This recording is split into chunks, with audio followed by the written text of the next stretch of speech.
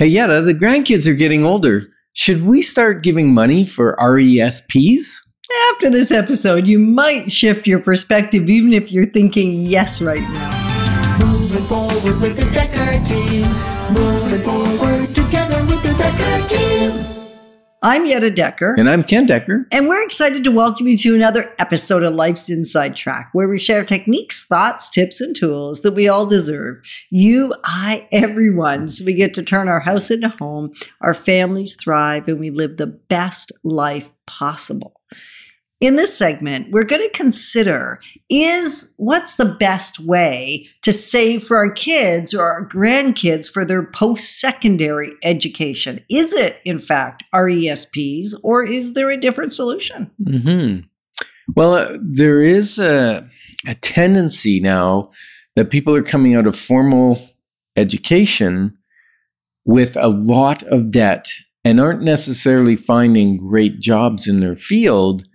And that debt can really slow you down over, you know, the first years when you're when you're trying to get your your job income up, you're looking at maybe buying your first home, you maybe you're starting a family or a relationship and you have the weight of this debt. Right. So we're talking about how to get ahead of that so Right. you don't have the debt with potentially RESPs. But I think you Mhm. have another idea. Even though we did it, we'll confess right now, we did it the way we wouldn't actually propose to do it. So this is one of those times where we did the best we knew how to do when we did it. Yeah. And in hindsight, we would do differently if we knew then what we know Yeah. now and it was with good. our kids. It was good at the time, and maybe it was even the best at the time because if you don't have the equity to be able to buy a rental property, because that's what we're going to discuss is the difference between an RESP and buying a rental property for your kids' university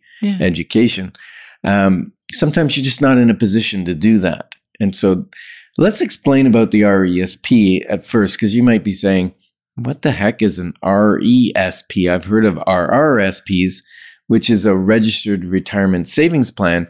Well, an RESP is a registered education savings plan.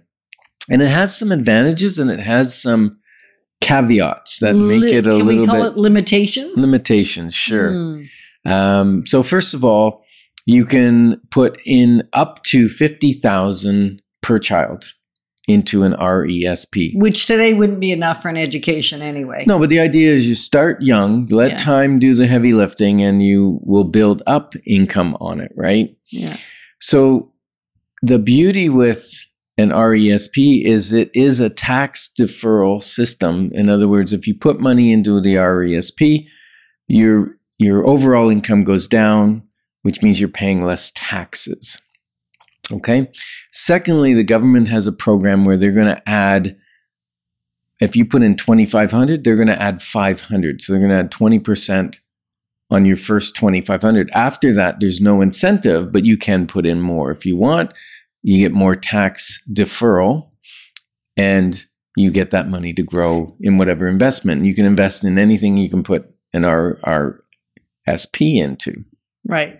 And let's just talk about tax deferral for a minute because I know when we were in our 20s and even our early 30s, we didn't necessarily understand the implication as it's associated with tax deferral because people would use the word tax savings. It's a tax savings, it's a tax savings. And sure, it's a tax savings today. Mhm. but it's really deferring the tax, and the money does grow without um, taxes on the increase while it's growing. yes because it's in that uh, it's under that umbrella of a registered system. So the income grows tax exempt until you remove the money. Like an RSP when you remove all the money you pay the tax. Now the advantage of an RESP is the person going to school gets to remove it out of the system and pay the tax on it at their tax rate. And because they're in school and working part time, maybe their tax rate's going to be very minimal, and thus you're you're basically moving from a higher tax bracket to none or low tax bracket. Right. So in the case of an RESP, different than RRSP, because an RRSP, the retired savings plan.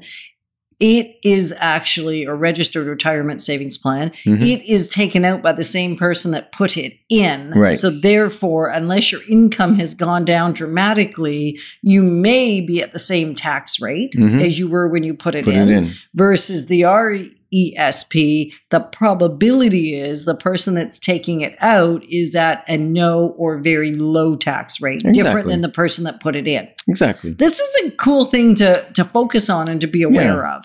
Now the the other caveat is you can pool. So if you have two, three children, you pool, you open the RESP and that money kind of pools for the two or three of them, which is nice because I've heard of cases where somebody has one child, they put the money in, that child decides not to go to furthering education after secondary school.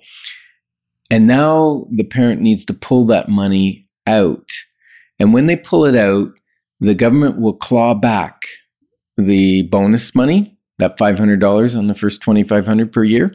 They'll claw that back. Um, and then you'll add all that money onto your taxable rate. So that might put you into an even higher tax bracket, which is going to cause more pain. Right. And I just want to highlight what Ken said is 2500 per year with a maximum of $500 from the government to the account per year. Earlier we per, didn't per year and per person. right, per year per person because I think that's an important piece to sort of be aware Well, of. per It's not child, just not per person, but per child. yeah. Yep. So it's not just five hundred dollars said and done. It if it's for ten years that you're doing it, it's five thousand dollars Mhm. per child. If you're doing it for twenty years, which you could almost get that in if you started it when they were infants, Mhm. that is ten. What I say, Ten thousand. ten thousand dollars. and and you get to keep the been growth on it though. Right, and you right, you get to keep the growth either way. You just have, Mhm. would have to give back that portion. Right. And now with our kids, I know Ryan went. and We used some of it for him. Candace didn't go into post secondary school, and so I pulled the money out. She thought she should get the money, and maybe you want to gift it to your kids in hindsight for a down payment on a house or something. That's that's totally up to you. Personally, I bought a sports car right when we took the money out, and she got the pleasure of riding it. Whatever. And when she did do her further education to become a realtor and to do what was required there, she didn't pay for it. We did. Right. So the reality is there is post secondary education. It just wasn't the formal and it wasn't right after Mhm, high school, mhm. right? So Right. That's the interesting piece. What types of education? That's something we want to think about. What types of education is considered post secondary that is actually qualifies with your RESP money? Yeah, for sure. And you know, it's it's important that I think if you if you want to be connected in our community and learn about things like this and and just be a little bit more knowledgeable or open up questions, then connect with us at together at deckerteam.com. That would be awesome. And we're going to talk also uh, in, in the next segment about how housing, buying a rental Mhm. property, may actually be a better choice for you to fund your children's Education, right? education. Because you can draw. I mean, we'll give a we'll be a spoiler alert. Yeah. You can draw equity even if you don't sell the property, so you don't have to think about it has to be gone, right? Yeah, exactly. So, what are your plans for your children's and your grandchildren's to help them move to have a great start? And we're delighted that we can help position you to build wealth wisely because it's it's about way more than just money. Moving forward with the Dekker team.